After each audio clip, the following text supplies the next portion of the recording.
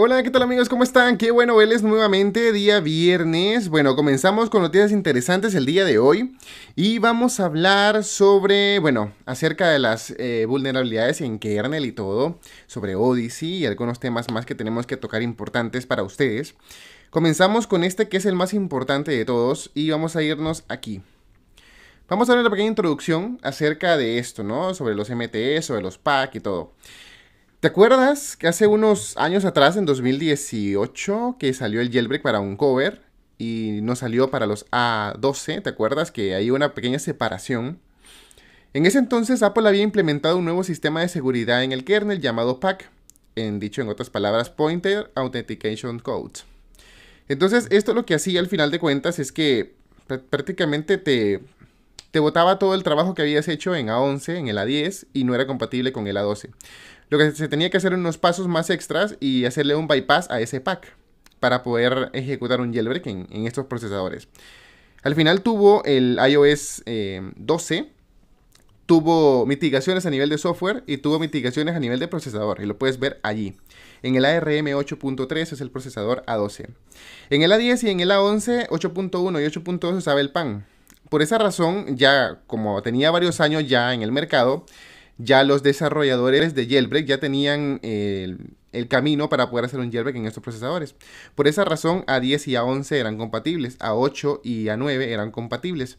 Entonces, por eso se lanzó un jailbreak desde A7 hasta A11 compatibles, porque ya tenían años en el mercado. Ya el, el PAN ya tenía sus dos años en el mercado. Pero, ¿qué pasó con el PAC recién lanzado?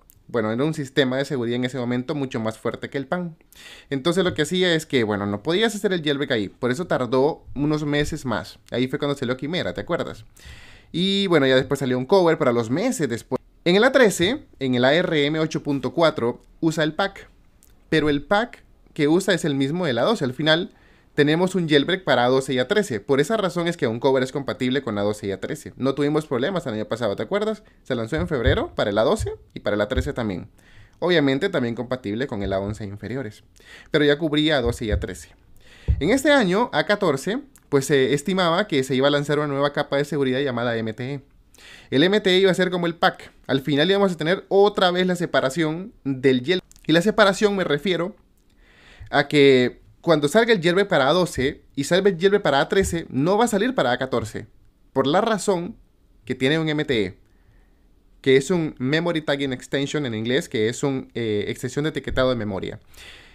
Entonces, aquí pues te da una pequeña reseña de lo que es este Memory Tagging Extension, que te puedo leer nada más lo más importante que dice aquí probablemente uno de los conceptos más fuertes presentados en los últimos años. Y aquí lo puedes leer, te lo estoy marcando ahorita mismo.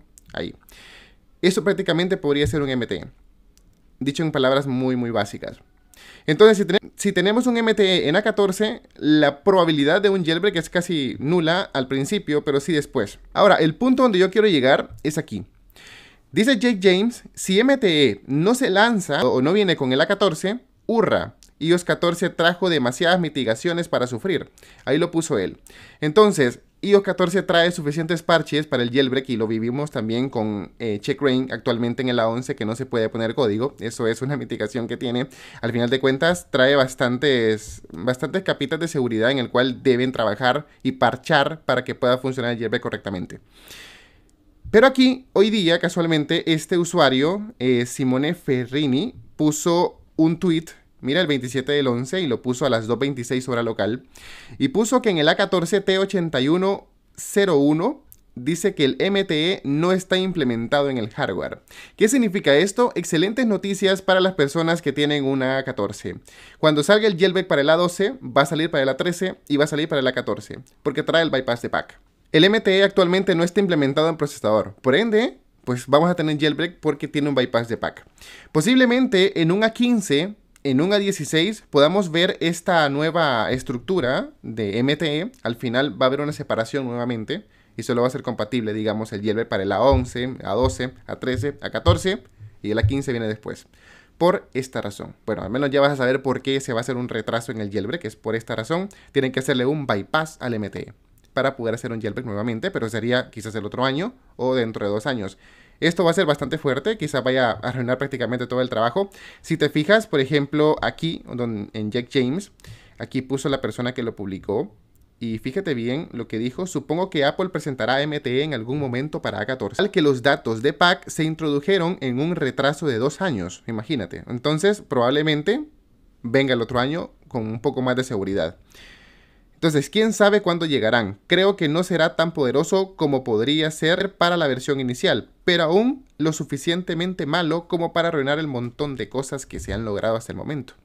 Entonces, al final, eso podría ser eh, el MTE, ¿no? O sea, al final podría ser más seguridad en el kernel para eh, poder prácticamente poner más parches y no haya un jailbreak próximamente.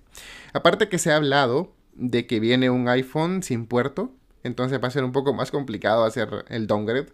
Va a ser tipo Apple Watch, ¿no? Que no vas a poder hacer el downgrade vía iTunes, sino que lo vas a tener que llevar a Apple, en teoría, supuestamente, según lo que se, lo que se cree.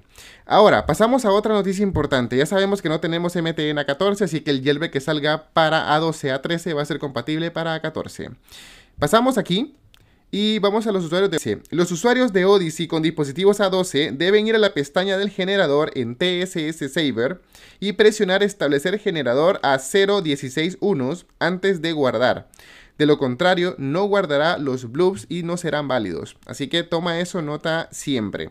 Ahora también aquí mismo, pues nada más decirte que ya salió la versión 1.2.2 de Odyssey, que esta ya tiene soporte para A8 y para A9 gracias a Up Events, que sería el exploit Up Events, ¿no? Y pues prácticamente eso sería todo el video de hoy, amigos. Espero que te haya gustado, espero que te haya servido. Si es así, apóyame siempre con tu like, con tu comentario. No olvides suscribirte. Aquí te dejo el botoncito, por favor, apóyame con eso.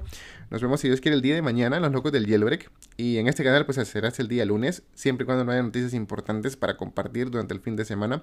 Porque si lo hay, pues aquí me tendrán presente. Nos vemos si Dios quiere el día lunes en un próximo segmento aquí en el canal. Nos vemos amigos. Un abrazo a todos. Que pasen un excelente fin de semana.